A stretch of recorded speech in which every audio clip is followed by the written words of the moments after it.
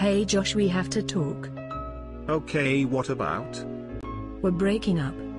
The reason I'm leaving you is because Jake is a lot cuter than you. But, but, I love you. Well, I hate you so bye. What? What the heck was that? I was crying. What?